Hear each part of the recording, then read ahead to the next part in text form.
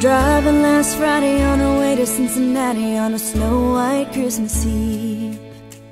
Going home to see her mama and her daddy with the baby in the back seat. Fifty miles to go and she was running low on faith and gasoline. It'd been a long, hard year. She had a lot on her mind and she didn't pay attention. She was going way too fast. Before she knew it, she was spinning on a thin black sheet of glass. She saw both their lives flash before her eyes.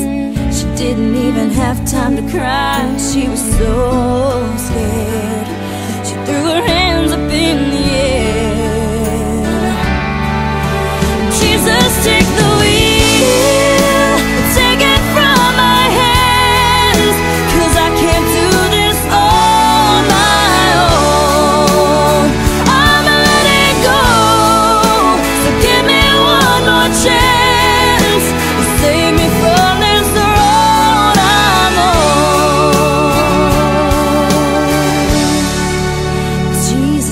the wheel.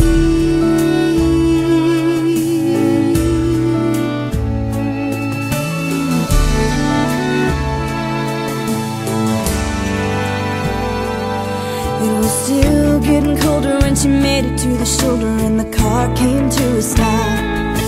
She cried when she saw that baby in the backseat sleeping like a rock.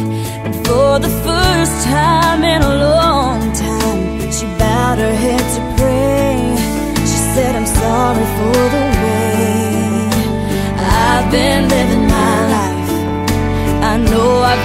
change. So from now on tonight.